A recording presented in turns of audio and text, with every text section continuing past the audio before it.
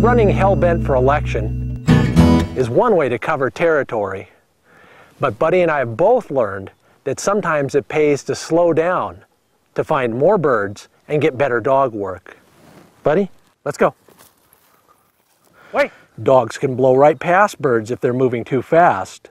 Start by cutting your own pace. Easy. Wait. It's not a track meet. Most dogs will mimic their owner's speed. Wait.